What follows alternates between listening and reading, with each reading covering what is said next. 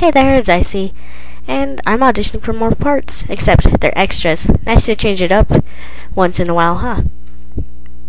Anyway, since there aren't actual voices assigned for said parts, I'm just going to reuse lines with different voices. Seems fair, right? Okay, well, here we go. You make one cute housewife. You make one cute housewife. You make one cute housewife. You make one cute housewife. I'm short, Miyagi. Just vertically challenged. I'm not short, Miyagi.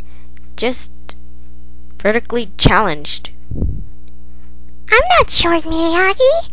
Just vertically challenged. What? No more strawberry vegetable juice? Yeah, that was kind of short, but seeing as I can't think of anything else, that is kind of it. Of course, I have other voices, but eh, I won't trouble you with those now. Thanks for listening.